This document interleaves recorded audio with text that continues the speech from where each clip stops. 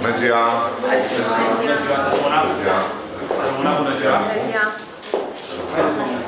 Să rămână bună ziua! Succes! Bună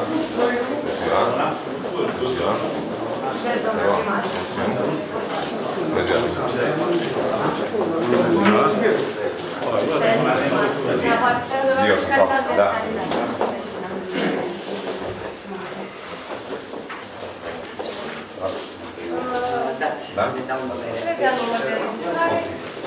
Puteți aștepta un sfert de oră să verificăm Da. uh, toate documentele și Documentele reveniți, da? unde? Da, la 34. Aici avem un dosar. Da, da. Da. Da.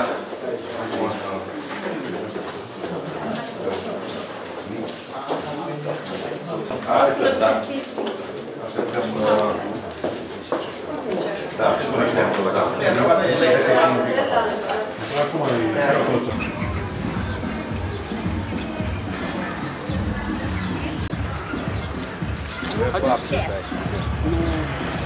Domnul primar, mult succes! Mulțumim, Să doamne dea ajută. Dumnezeu! Câte semnături ați strâns pentru această candidatură? Avem vreo 4.000 strânse prin reprezentanții biroului, președinții de organizații, de OSV-uri. Uh, Vreo 4.000 sunt strânse la cort, la corturile din oraș și încă vreo 4.000 sunt strânse prin uh, cei care au venit la sediul partidului la întâlniri pe care le-am avut. Deci noi sperăm să avem uh, în jur de 20.000 de semnături uh, până la debutul campaniei. Lucrurile, zicem noi că merg bine din punct de vedere funcțional, în sensul în care putem transmite foarte bine mesajul oamenilor. De fapt, noi de săptămâna asta am ieșit uh, și oarecum sporadic. Acum intrăm puternic în campanie pentru că au fost zile orașului. Și sigur au trebuit făcute lucrări. Primarul municipiului, consilierii s-au ocupat în primul rând de această activitate, fiind pe primul loc. De aici încolo vom merge și noi mai departe, dar mai mult vă poate explica domnul primar Lucian Nicu. Domnul primar, cum simțiți pulsul orașului din punct de vedere al alegerilor? Ați stat de vorbă cu romașcanii, ce, așteaptă, ce așteptări au pentru următoarea? Da, eu uh, am avut nenumărate întâlniri cu cetățenii încă de când am preluat acest mandat din uh, luna ianuarie. M-am întâlnit uh, constant cu cetățenii municipiului Roman și cei uh, 5 ani de experiență ca viceprimar mi-au permis să învăț foarte bine administrația, să învăț foarte bine care sunt problemele cetățenilor municipiului Roman și mai mult decât atât să învăț și care sunt soluțiile pentru aceste probleme. În ultima perioadă constat că este un interes din ce în ce mai crescut al cetățenilor față de administrația publică centrală. Să spunem, dacă la început uh, nu erau pregătiți pentru aceste alegeri, în sensul că nici nu au fost foarte mediatizate aceste alegeri, am observat în ultima săptămână că cetățenii au început deja să ia la cunoștință faptul că vom avea alegeri pe data de 11 iunie și ceea ce mă bucură cel mai mult, am întâlnit foarte mulți cetățeni care ne-au apreciat pentru activitatea pe care am făcut-o, atât în mandatele trecute, cât și în activitatea curentă. Eu am luat decizia astăzi să-mi depun uh, oficial candidatura.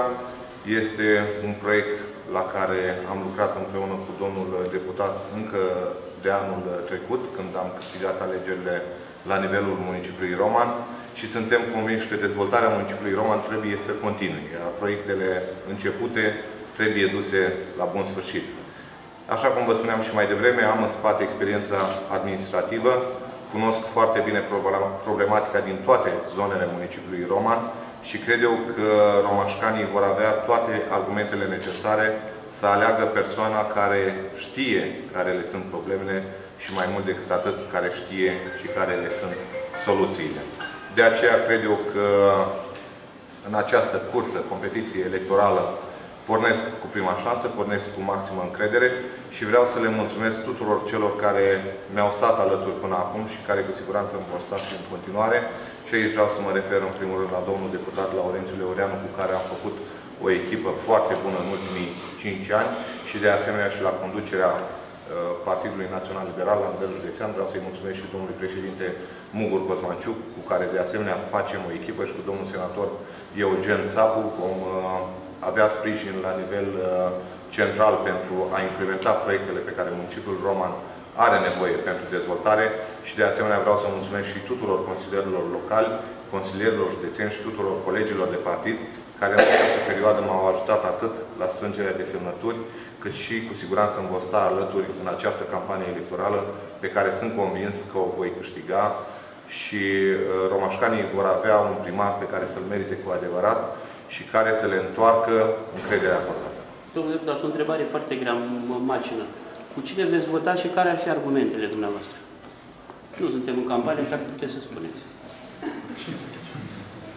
Da, eu uh, din momentul în care am făcut echipă cu Lucian Micu și împreună am implementat proiecte, ne-am ocupat de buna dezvoltare a municipiului Roman, de buna gestionare, de buna administrare.